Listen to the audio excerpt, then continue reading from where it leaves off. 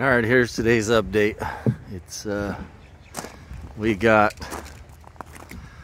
that beam up, the ridge beam, and the two posts with the caps on and bolted, and these little brackets bolted as well. You can see them on both sides.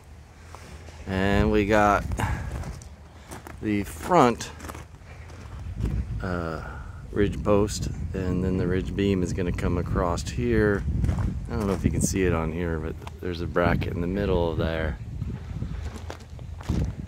We'll get that up tomorrow. So it's gonna, like I said, it's gonna have a big gable in the front. And then it's a hip roof around back. So yeah, we got that big ridge beam in today. And that's the update. Have a good day everyone.